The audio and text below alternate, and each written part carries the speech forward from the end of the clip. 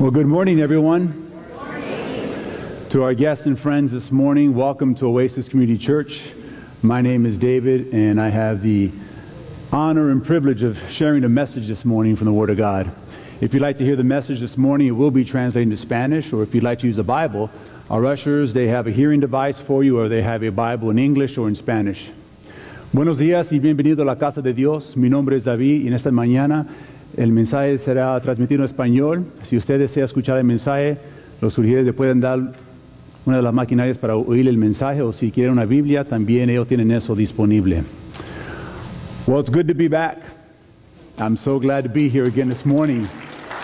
Um, I was gone for a couple of weeks, not because anybody upset me and I didn't want to be here. It wasn't for that. A couple weeks ago, my wife and I had the opportunity to go and visit our son in Indiana where he's studying, and we got to spend some time with him. And then last week, uh, I was here, but not here. I was uh, actually visiting LA Community Church. Many of you remember uh, A.J. McLeod, the young man who came and spoke a couple times here. And um, they had asked me if I would come and speak there, so that's where I was last Sunday. Was able to be with them, praise God. I was able to be with them and to fellowship with them, and what a beautiful church and what a beautiful group of people. And you know, family, I'm going to put on your hearts to be praying for LA community because they are going through the struggle that we went through. Uh, their lead pastor also has been called away. So uh, many of us remember the pains and struggles in that first uh, few months and year that we went through when our pastor uh, had been called away. So there's some, some pain that's happening there. So let's be praying for LA Community Church. Let's be lifting them up and, and asking God to bring that group together to be able to use those individuals there for His honor and for His glory um, in a mighty way there. But they're a beautiful group of people. But there's nothing like being home. I'm glad to be here. Glad to see all of you. And so you don't have to call. You can call back to the search and rescue team. It's all right. We're good. No problem there. But I, uh, I'm glad to be here. And um, I'm also glad be and honored because my um, bigger sister is here. So it's your first time. I have to say, I have to say bigger sister because if I say older, that might offend her, even though she is older. But so I'm, I'm glad that she and her family are here this morning with us. This morning we're going to be looking at um, an Old Testament book the book of Hosea. And, um, you know, um, a few years back, when I was young, younger, younger, okay, my father gave me a car. Daddy gave me a 1977 Cutlass Supreme. And um, it wasn't a new car. We weren't blessed that way. In fact, I don't think my father ever owned a new car. So it was used used car when he gave it to me, but yet it was beautiful. I love that Supreme. Oh, I loved it. She was beautiful. I'm telling you, that was my baby. Okay? I mean, a, a, a guy 19, 20 years old, this is his first car. She was gorgeous. She was black, jet black color. The interior was black. And she had these big chrome bumpers. Not like today with a little strip, right? I mean, these are big chrome bumpers ladies, if you want to check your makeup, right, and that thing was just clean and polished just right, it was like no compact mirror, just look at the bumper you can get yourself fixed up. Be careful though, because if the sun hit it just right, it could blind you. I mean, it was just, had these big rims on it, shiny rims. I just loved my Supreme. And it had a great stereo system. I mean, the speakers, you could hear it from a mile away.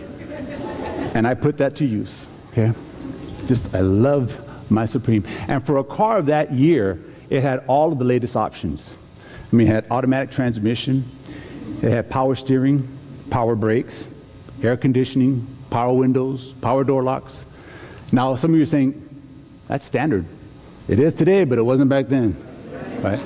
If you wanted power brakes, it was right here. Right? And the power steering was right here. That's, that's the way it was. So this, it was beautiful. I mean, I just loved my car. I loved this baby. It was just. And so I, I would just spend hours washing, waxing, and polishing, and just taking care of my baby. And you know, my, I live with my parents, and we lived like the distance from here to the corner of Heacock and Alessandro from our front door and where the, uh, the market was, the grocery store. And every now and then, my mom and dad would say, Mio, can you go get something at the store? Can I said, sure. An opportunity to get in the car, right? So I get in my car, and it was about a 20 mile trip because I just wanted to drive my car. I mean, I just right, turn that radio up. How you doing? You know? hey, you played the game too. Don't act like you didn't. You all did, right? God was there. He saw you. Ladies, don't say, well, no, I didn't. Yes, you did. Did you see how he looked at me? You know, it may not have been a 77 that you played your game in. For some of you, it may have been your brand new Ford Model T, right? But, or maybe it was like Jack. Maybe you rode up on your horse. Howdy, ma'am. hey, let me just make sure you know Jack knew I was going to say something. He's on vacation, but he knew I was going to say that. But if you guys want to edit that from the tape, I'm good with that too. But I loved my car. I loved it. I loved it. And every Saturday, as it become my custom, I would spend literally five or six hours washing, waxing, and polishing my baby. Weekend after weekend after weekend. And one Saturday, my mom our house, uh, the washing and dryer was in the garage, and my mom had been doing laundry and doing things. And one Saturday, she walks out and she goes, Mijo, be careful. I said, be careful. I looked at the cars. I thought maybe I missed a spot. Can't have that. She said, be careful. I said, Mom, what do you mean be careful? She said, your car, it's becoming an idol to you. Be careful you don't replace God with a car. And you know, throughout the history of mankind, that's what we have done. We have taken things or people, relationships, something else, and we've placed it in the place of God. God's people, the Israelites, throughout their history, that's what they did. Over and over again, after being in a fellowship with God, being in a relationship with God, they would allow things to come into their lives and they would drift and put something else in place of God Almighty. The story we're going to read about this morning is the story about the life and time in the Israelites that that exact same thing happened and how God is trying to reach out to his people. Here at Oasis, we're accustomed to standing when we read the God out of reverence for his word. So if you're able to, would you please stand as we read scripture from chapter 1 of the book of Hosea. Starting at verse number 2, the Word of God says, When the Lord began to speak to Hosea, the Lord said to him, Go take to yourself an adulterous wife and children of unfaithfulness, because the land is guilty of the vilest adultery in departing from the Lord. So he married Gomer, daughter of Diblaim, and she conceived a son. And she conceived and bore him a son. Then the Lord said to Hosea, Go or call him Jezreel because I will soon punish the house of Jehu for the massacre at Jezreel, and I will put an end to the kingdom of Israel. In that day I will break Israel's bow in the valley of Jezreel. Gomer conceived again and gave birth to a daughter. Then the Lord said to Hosea, Call her Lo Ruhamah, for I, am no long, for I no longer show love to the house of Israel, that I should at all forgive them. Yet I will show love to the house of Judah and I will save them not by bow, sword, or battle, or by horses or horsemen, but by the Lord their God. After she had weaned Lo Ruhamah, Gomer had another son. Then the Lord said, Call him Lo Ami, for you are not my people, and I am not your God. Yet the Israelites will be like the sand on the seashore, which cannot be measured or counted. In the place where it was said, You are not my people, they will be called sons of the living God. Let's pray. Father God, we thank you for your word. We thank you for this time. And Lord, we pray that you would speak to each one of us. You know our needs. You know who we are. You know everything, Father. So let your spirit have its way here today as we hear from you. In the name of Jesus, amen. You may be seated. What a strange story, right? I mean, it's kind of a weird story when you read that. E- even by today's wicked standards, the story of this man marrying this woman and all this adulterous stuff and all this, it's, it's kind of icky. And I don't even know if icky is a word, but it just kind of gives that feeling, right? What is God saying? What is God trying to communicate to his people? You see, God was trying to demonstrate through this story his faithfulness and his people's unfaithfulness. God was trying to demonstrate his consistent love and their rejection of his love. God was trying to show them how far they had gone away from the relationship that he wanted to have with his people. Uh, um, this man, Hosea, is a, is, is a prophet. And so think about that, right? I mean, for those of us who are married or we know someone's going to get married, this is an exciting time in the life of someone who's going to get married. I mean, God tells them, Hosea, you're going to get married. Thank you, Lord. I've been thinking about that. I, I, but I was waiting. So now, Lord, you're giving me the, good, the green light. I'm going to go out and start looking. Tomorrow morning, I'm going to go down to the river and see how the women are washing around their uh, robes, right? See if they got strong arms. Got to get the barbecue stains out of the robe. See if they can carry that pail of water. They have good balance, strong backs. Those are qualities that guys look for in those days. Today, maybe a little different, right? But he's thinking, I'm going to go out and look. And God says, No, it's, it's prearranged. Wow. Think about that, fellas. It's prearranged. Don't have to go through that dance. Don't got to go through that game. And if you like me, check yes. If you don't, check no. None of those things. No eHarmony, right? No ChristianSingle.org. I mean, good job. He's ready to go. So it's exciting. This is an exciting time. When you're going to get married or when you, you're around people that are going to get married, that there's just this love and this happiness and the joy and everything is perfect. When, when a man finds this woman, I mean, she's, she's perfect. There's nothing that can, she can do or say that will upset him. Everything she does, perfect.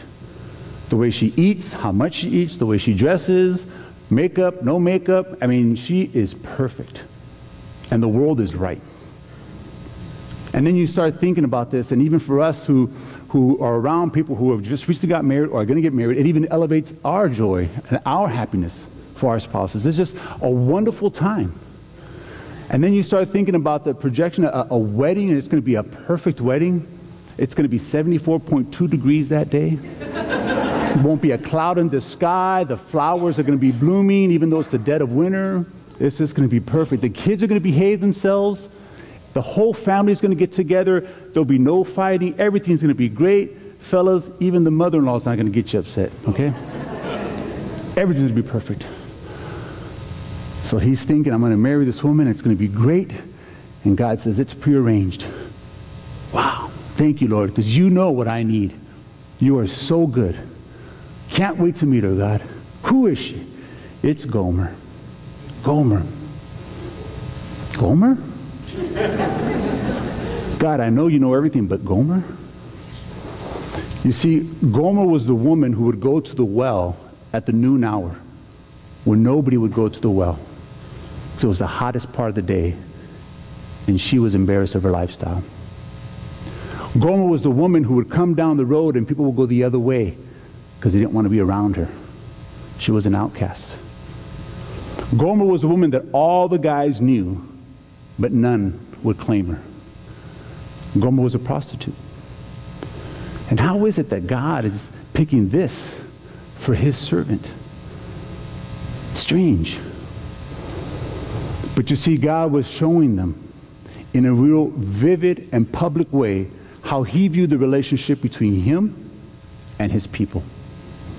How he was faithful and they were not. How he was loving and they rejected it. How he was kind and compassionate and providing and they sought after other things. That's the picture that he was showing here.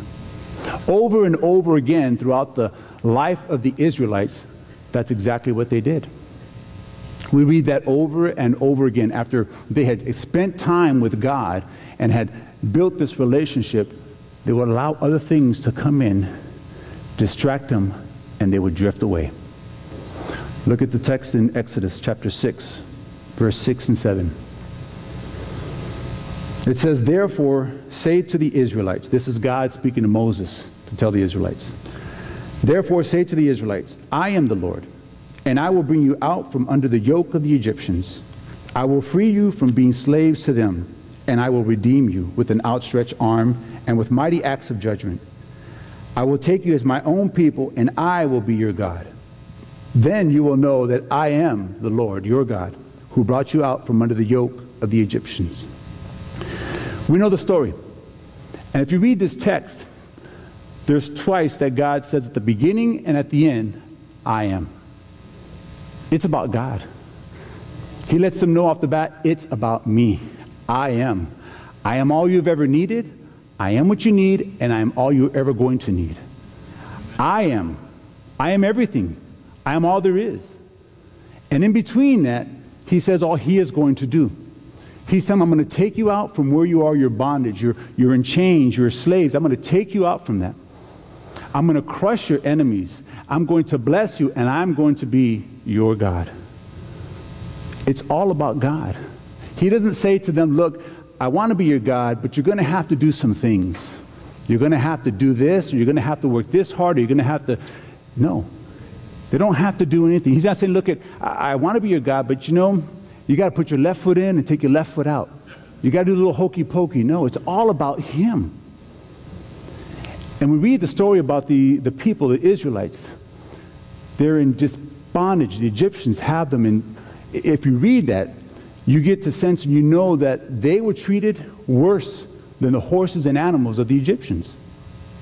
They were under heavy bondage, being killed. And God is going to take his people out of that situation and take them to a land flowing with milk and honey. God, throughout that story, he crushes every one of the Egyptians' gods, just decimates them, takes his people out. He's going to take them to a place where he's going to be their God. They're going to have a relationship with him. And after a short period of time, what do they do? They create a golden image and they start worshiping another God. I mean, even the Egyptians at one point, as God is just crushing them, they say, you know what? Go. Your God is greater than all our gods together. It's almost like they're more obedient than God's people. Go. Follow your God. He's right. Here, take the gold. Take the silver. Take everything we have and go and follow and be with your God. Your God is greater. Your God is better.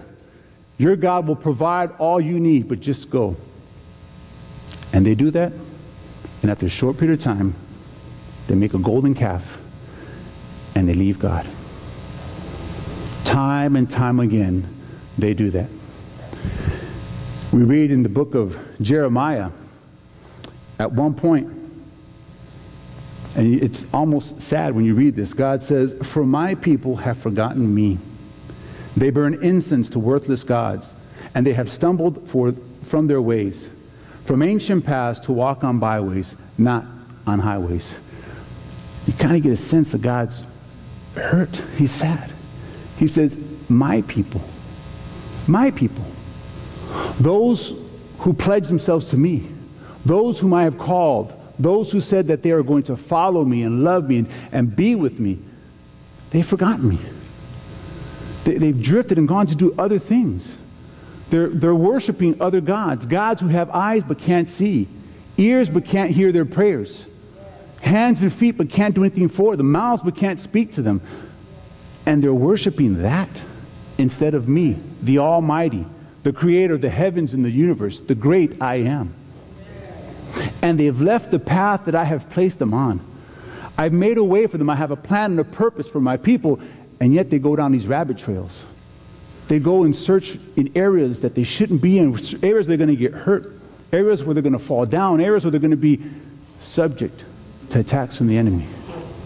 My people who were called by my name have forgotten me. Later on in Jeremiah, you hear the Lord, he says this The Lord appeared to us in past, saying, I have loved you with an everlasting love. I have drawn you with unfailing kindness. You see, God doesn't relent, He doesn't give up, He doesn't quit. He continues to seek after his people. He doesn't give up on us. He doesn't give up on his people. No matter how far we think we can go, God is right there. He's trying to draw us back. He's trying to bring us back into that relationship. All God wants is that personal, intimate relationship between his people and him, between you and him.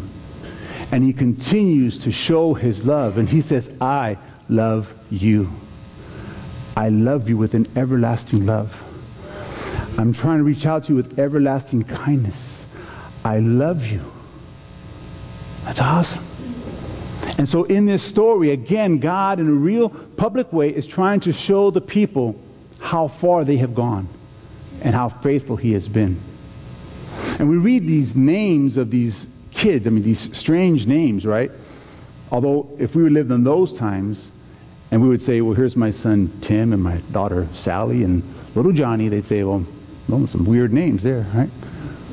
But these names have a meaning. They have this first child named Jezreel. And see, the picture that God was trying to show them in the meaning of Jezreel is that God sows. That's what Jezreel means. God sows or God scatters. And so God was telling them that because you have rejected me, you will be scattered among the nations. Agriculture was very big in those days, and so everyone knew about that. And so the picture that God wanted them to see was of a farmer. When he'd go out into the land to, to plant seeds, he would have a sack of, of seeds by his side, and there'd be a hole in the top. And the farmer would reach into that bag of seeds, and he'd take out a handful of seeds, and he'd scatter them across the land.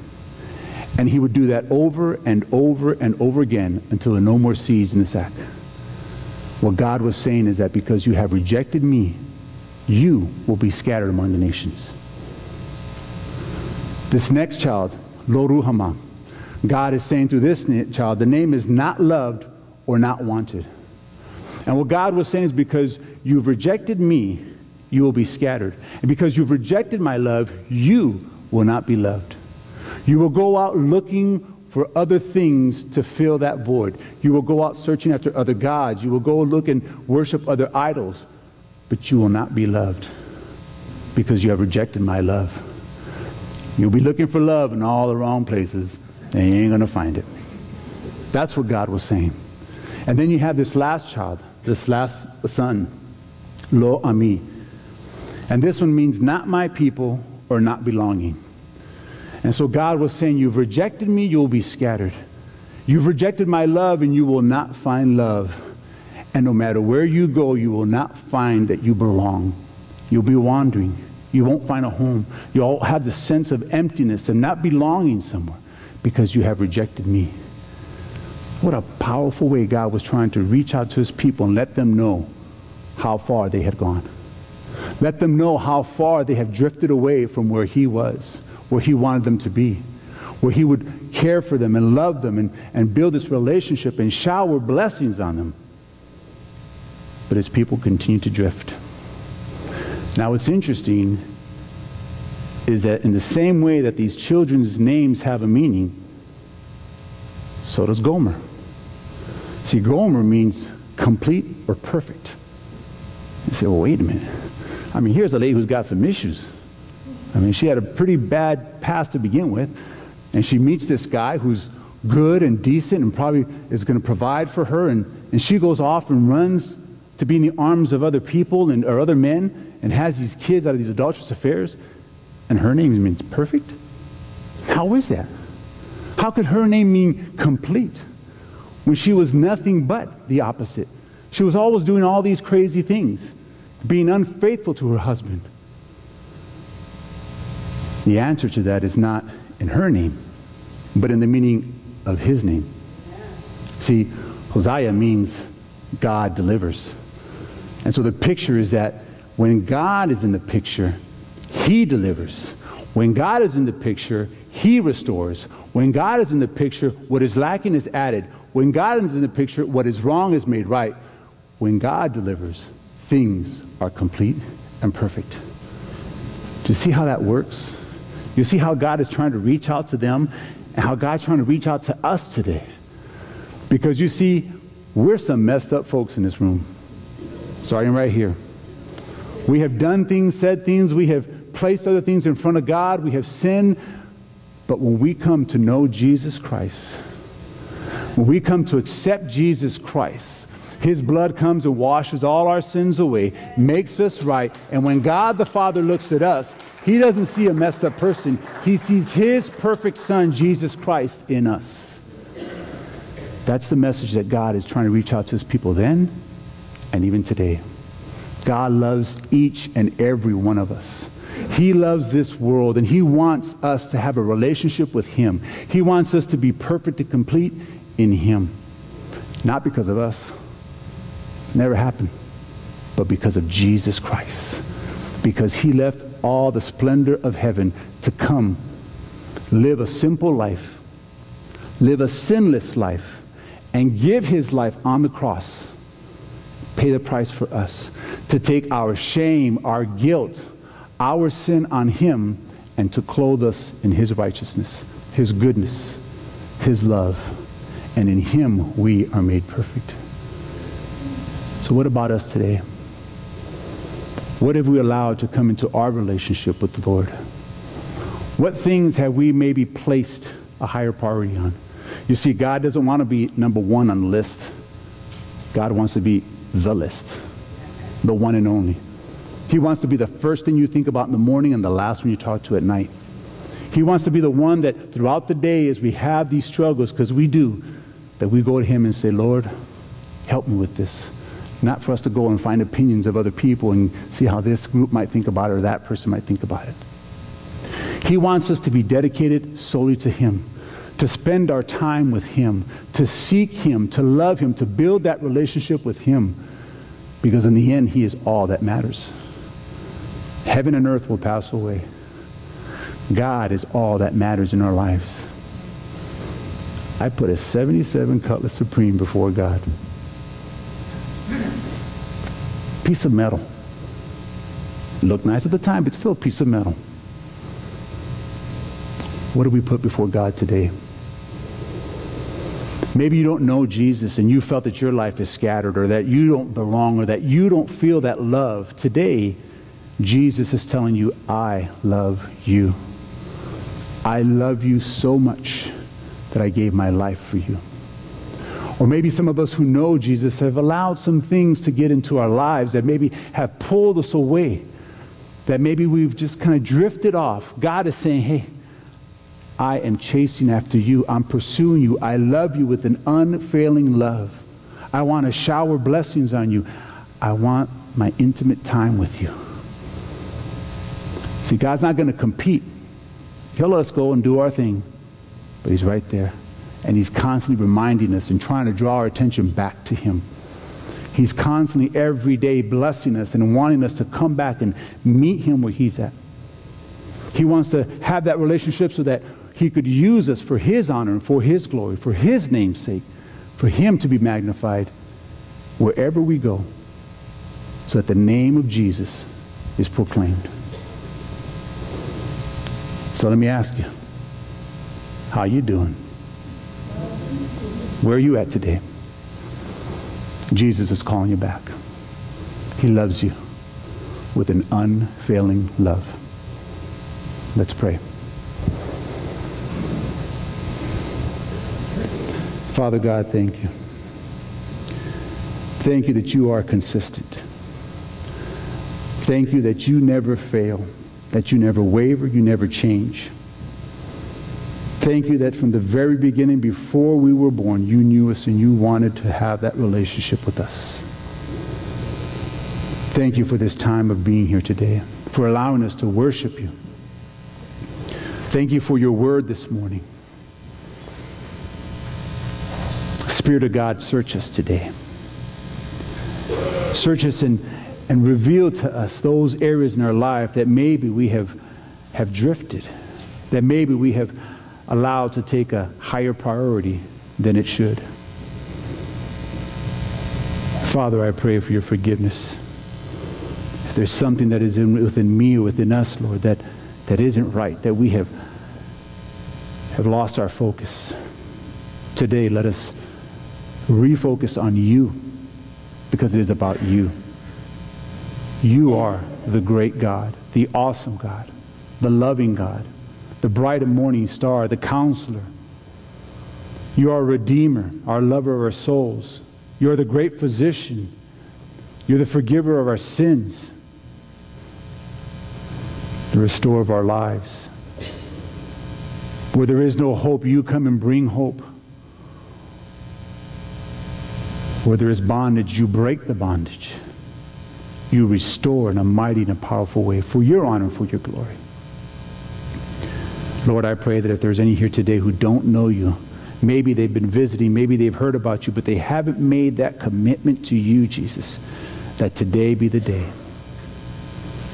If there's some of us who have drifted, Lord, I pray that we come back to you, rededicate ourselves, and that we seek you like never before that we bring you honor and glory.